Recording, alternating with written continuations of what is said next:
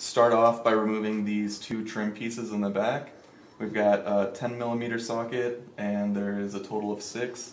You only need to turn them about 90 degrees counterclockwise and they should pop right out.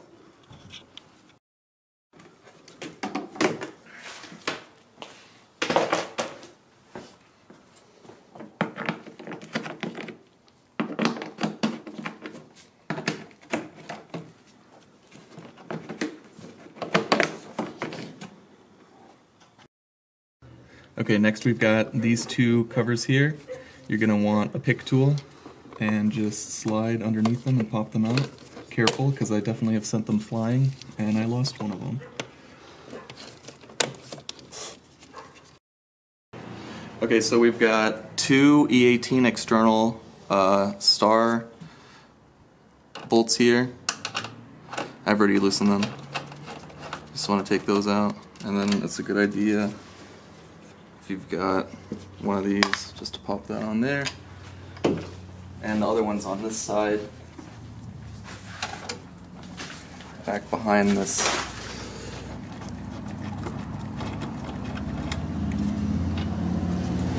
And then after that, we've got a 16, two 16 millimeters.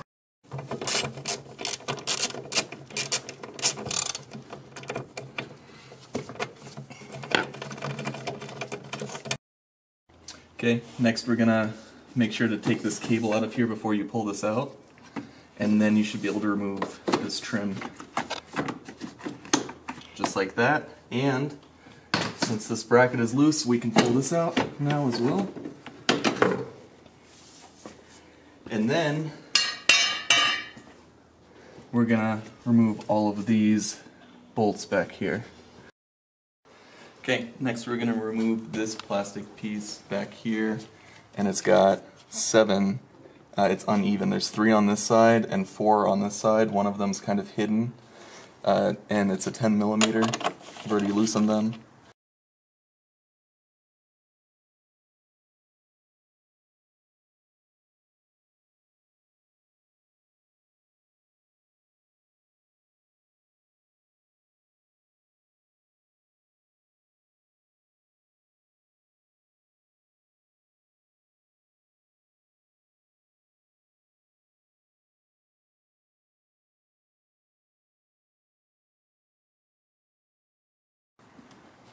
Now we can remove this piece. And actually we're just going to need to set it to the side because it's riveted in right there with a plastic rivet. So since we're going to be working on, we're not going to be working on the intake side, we can just set it over right here carefully. And then you can remove this sound guard. And this is also where your fuel pump is.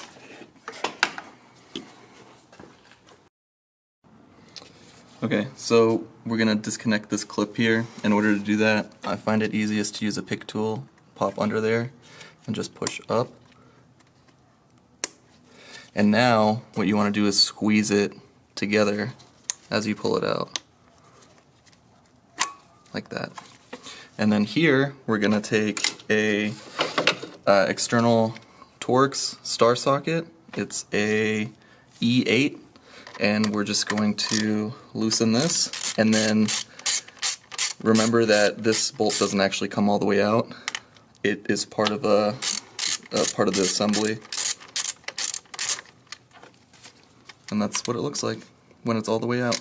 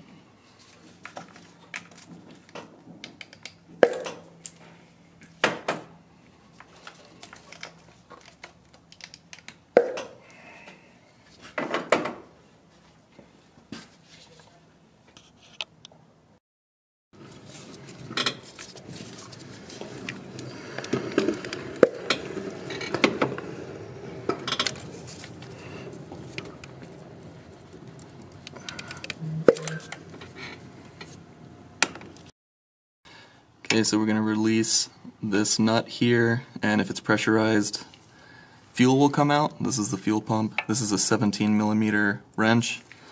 So we're going to go slow. Oh, Ooh. there goes fuel. Wonder if we caught that on camera. Yeah. go slow, and it just pops right off. I went kind of fast, but it, it was really quick. Okay, so we just removed this nut here, and now we are going to be removing this nut and this nut over here as well.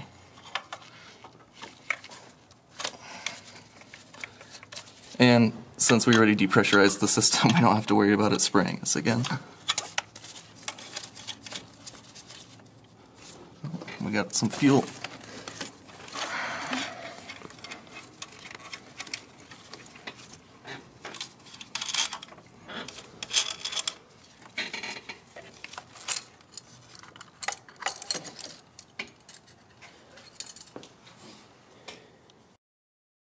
Okay, so we've got both of these ground straps that we're going to remove. It's an 8 millimeter. And make sure that doesn't fall into that socket, that hole.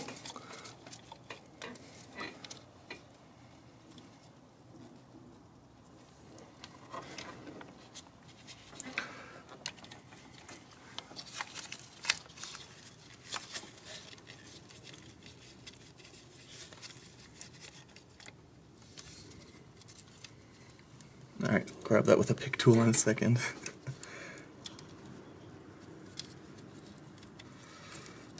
okay.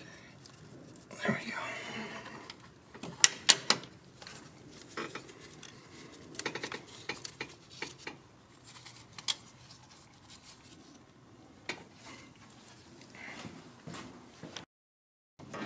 Okay, so we've got this piece, this plastic piece we can remove now. There's still two connectors that are connected, but we're going to lift this up and set it aside so that we can pop these connectors out. There's one right up here, and then there's another one right back here. You can't really see it very well. And there's these two hooks here. We're just going to have to be gentle. Okay. Oh, there is six connectors. Probably one for each of the fuel injectors.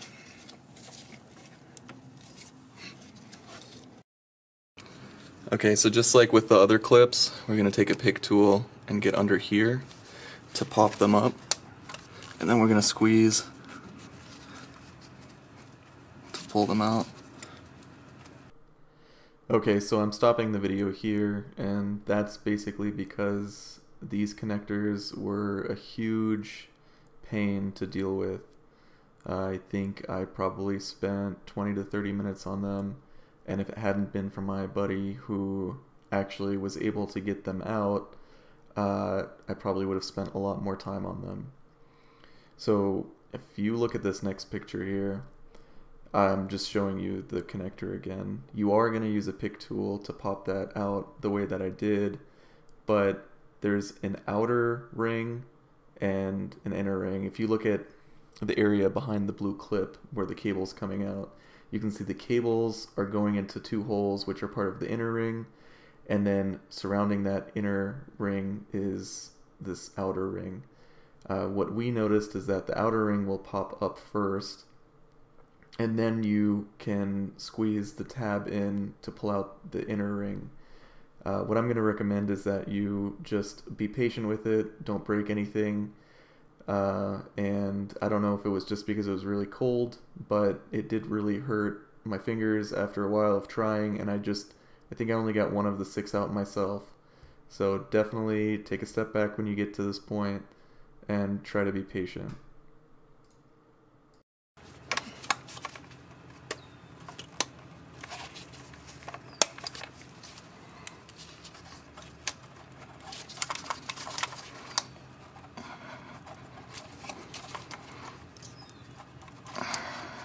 Maybe I record you do it because I can't.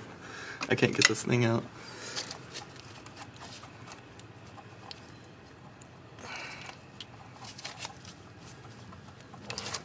What the fuck,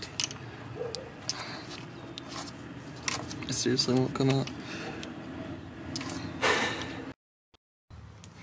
Okay, so this was a really big pain to get out. The connectors really didn't want to come out but you're going to also want to remove this front connector here, and then all of these six you're going to remove, and then you can set this aside, undo this clip back here using a pick tool, and once that's set aside, we can work on the fuel rail. Okay, so we're zoomed in on the front fuel rail right now. We're going to be removing these six, so two, four, six. They're external Torx E6, and you cannot reuse these. Uh, you're gonna want to buy a new set. They're what's called torque to yield bolts, which means that they should not be reused.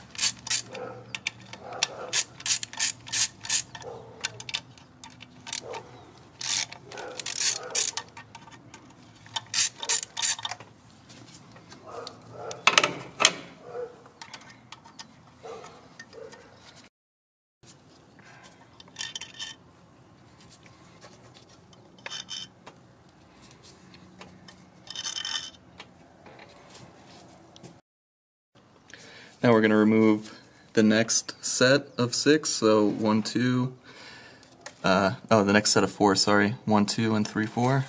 And this is a external Torx size 8.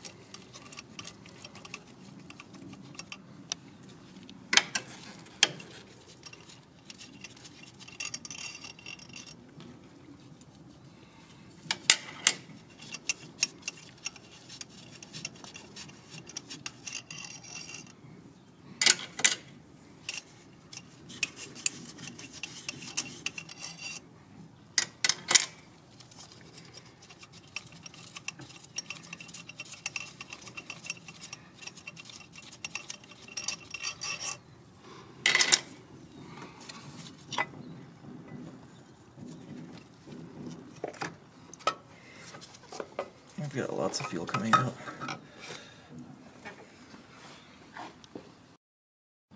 Okay, this is the specialty tool that's used to pull the injectors. You're going to unthread all of this and take these inserts out. All of these threads are uh, backwards, so you're going to want to turn it clockwise to remove them. And if you want to take the thread, uh, if you want to take the insert out, you just press this piece in, pull it out. Okay, so next we're going to take this special tool attachment and I don't know if you can see this, but it has a specific geometry. We want this pin facing inward. Going to do that for all three of these.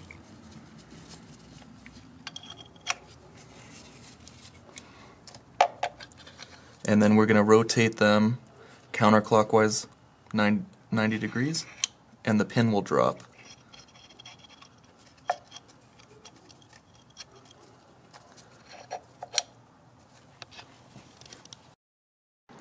Okay, so next we're going to take these supplied bolts with the kit. I'm going to slide those through these holes and then slide this piece here. It's magnetic so it'll hold itself together. We're going to repeat that for each of the holes. Okay, so look at this image to see how to line up your plate um, with the bolts that are in the plate and uh, these threaded holes next to the injectors. Pay attention to this next part of the video if you have any questions on how to get it in there uh, because the plate is not uh, symmetrical, which would basically mean that there's only one way to put it on correctly. Now, my plate did come with an extra hole that I did not need to use, And then also make sure you've got those magnetic spacers on the end of each of these. Uh, those spacers ensure that you're going to only be able to thread in this plate a certain depth and it's going to set everything at the correct height to pull the injectors out. Okay, now we're going to take this bolt here, and remember it's counterclockwise to tighten, and we're going to tighten them all the way down. I'm going to do that for all three here.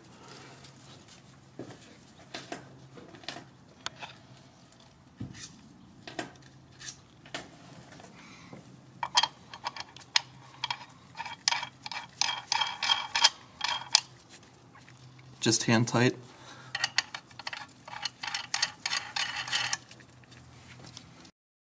Okay, so these need to be tightened to 5 newton meters. I don't have the correct socket for it, so I'm just gonna, uh, I'm not gonna go overly tight, I'm just gonna be reasonably tight on these.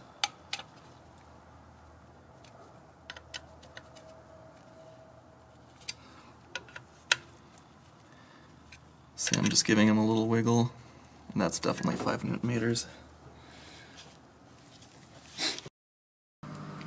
Okay, so now we're going to take these inserts and slide them into each of these. And those will thread onto the caps that we put onto each of the injectors.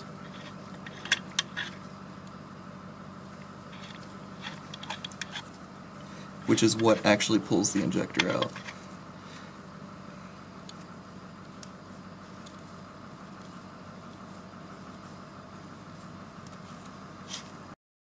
That injector's out. Yep. This injector doesn't want to come out.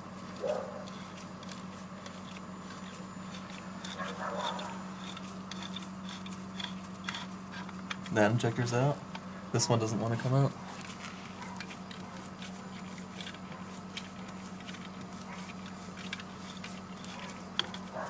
Yeah, see, I don't see why we would have needed to torque that to a specific value.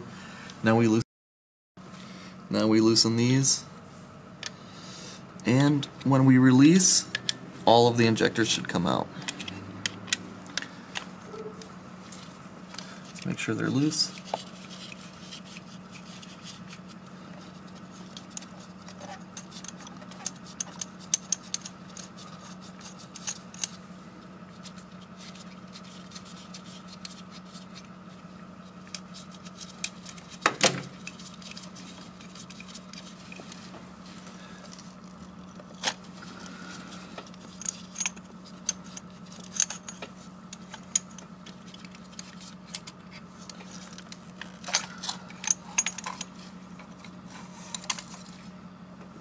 We go.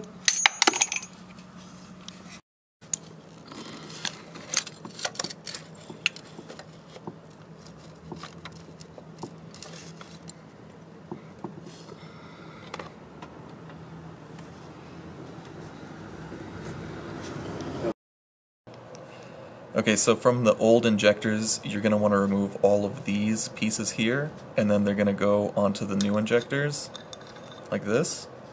I have it upside down. They're going to go onto the new injectors like this.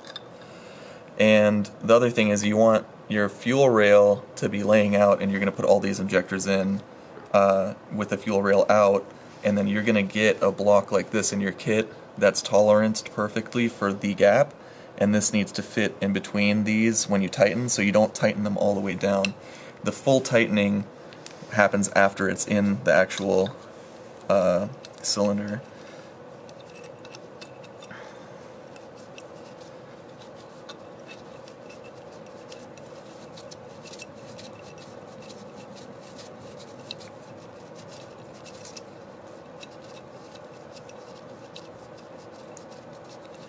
Okay, now I'm going to take my tool, I'm going to fit this in here, and then I'm going to tighten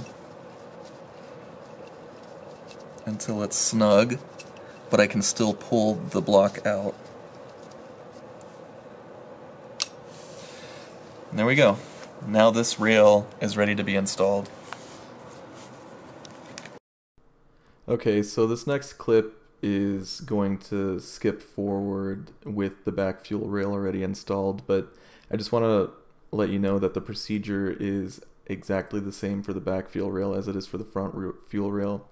Uh, make sure to do the back fuel rail first, uh, but follow this procedure on the front fuel rail uh, when you install your back fuel rail. So the reason is um, either we didn't record it or I was too busy trying to figure out exactly how to install it that I didn't get a good clip of it. But essentially, what I'm going to explain in the next section here is that the bolts, the four bolts that hold the fuel rail in, you're going to want to install the two um, the two bolts that are on the right side of the main tube, and by main tube I mean the actual fuel rail, um, the bolts that are right next to the injector bolts, you'll have two holes there. You're going to want to put those in first. You're going to lean the fuel rail back slightly towards that PCV um, cap in your oil cap. Uh, just a couple of degrees, just enough to start getting those bolts threaded. And when I say hand tight, I really mean it. Uh, what you're going to do is just hand thread those in until you just feel resistance with your fingers uh, and do that for both. Then after that, you're going to follow uh, the next steps where you do the 180 degrees at a time. So I'm um, just going to roll to the next clip.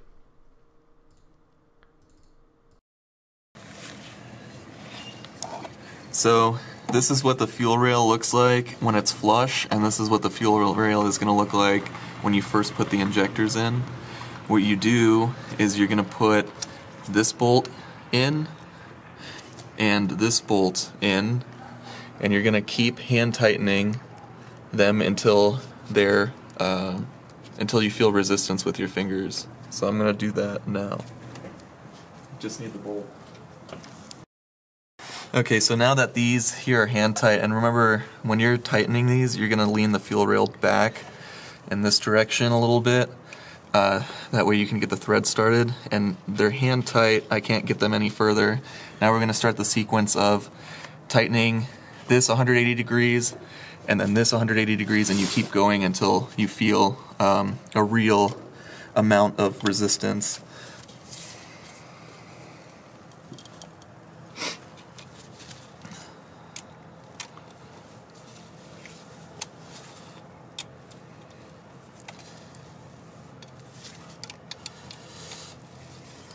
And the whole goal of this is to get this fuel rail flush like the one in the back is. The procedure is the same for both. So we're just showing you the front. It's also getting a little dark outside. And this torque wrench is set to 5 newton meters, which is the final tightening torque, which means I won't be able to go too tight.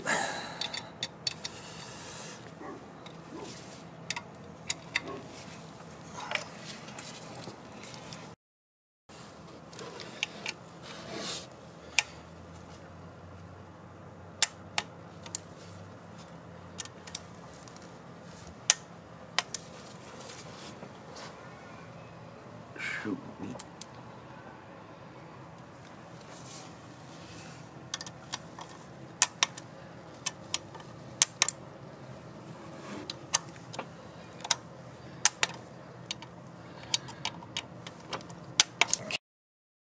Alright, so now these are torque to yield, the long ones. So we're going to go A, then the back D, then here B, and then here C. We're turning them 90 degrees after we hit them after they went to 5 newton meters, now an additional 90 degrees.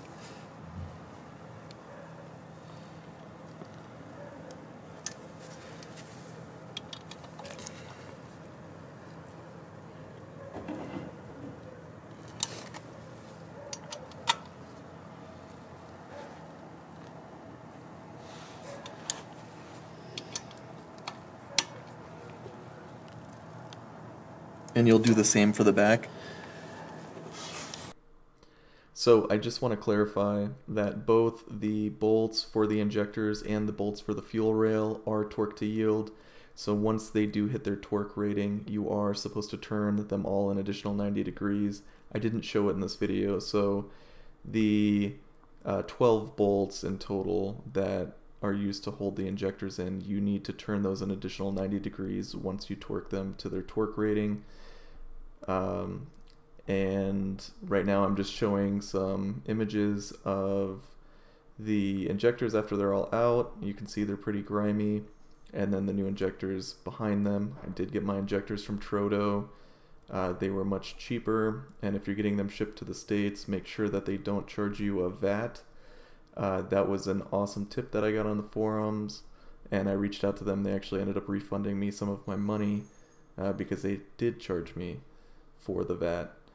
Uh, and, and that only works if you're not in uh, Europe, I believe. Uh, let me see if there's anything else. I mean, from this point on, you're just going to reinstall everything that you've already installed or that you already took apart. Um, you know, if you need help with that, just watch the video in reverse. and um, these Kevlar rings, I think, Teflon, not Kevlar. These Teflon rings, they're the, the small little rings that are at the bottom of each of the injectors. So they're going to come pre installed. But if you're pulling your injectors out yourself and you're planning on reinstalling them, you need to buy new rings. You have to renew them. Uh, that specialty tool that I uh, am using in this video that does come with the items that you need to add the Teflon rings back onto the injector, but you cannot use the tef- reuse the Teflon rings. Um, you do have to pull your fuel injector if you ever need to do your valve cover. I did do my valve cover myself uh, with with my friend who's recording here, um, probably last year.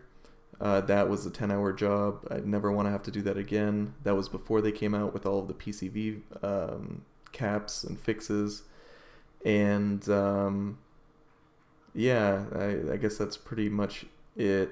I, I, guess I should talk about why I'm doing new injectors. Um, I'm getting ready to go pure 850 uh, with an E50 blend, and I know that ethanol can gunk up your injectors, and I just wanted a fresh start, make sure that everything's functioning perfectly uh, before I full send it, essentially.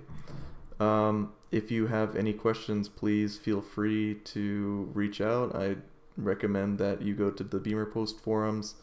Um, and reach out. There's a lot of individuals on there that know what they're talking about. I ask a ton of questions. It might seem like I know what I'm doing because I'm putting out a video, but I certainly, um, I would say, you know, I have some knowledge of the car, but I'm I don't have the confidence yet to make decisions without asking others first, so I can get a general consensus. And yeah, I think I think that's it this time for real. So thank you guys for watching, and um, you don't really need to subscribe. I don't think I really plan on doing this um, for. I don't plan on doing other videos. This is just a give back to the community that has answered so many of my questions. So thanks, guys. I hope you guys have a great rest of your morning, afternoon, evening, you know, whatever.